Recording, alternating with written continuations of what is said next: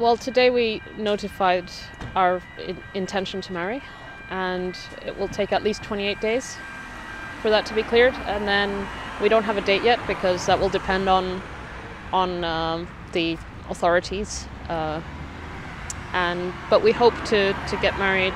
It could be as soon as uh, before the new year. Julian's struggling in prison, and uh, the longer he's there, the more difficult it gets for him.